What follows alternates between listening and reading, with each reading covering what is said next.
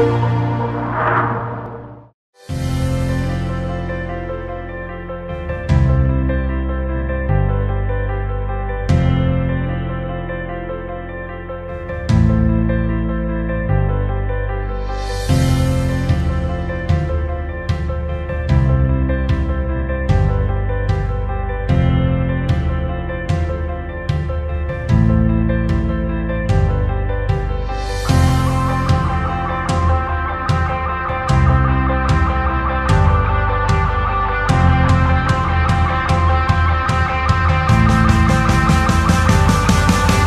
great experience and I hope Chitkara will organize such events soon. More than 160 volunteers, NSS volunteers ne from the different part of the university isme participate kiya. है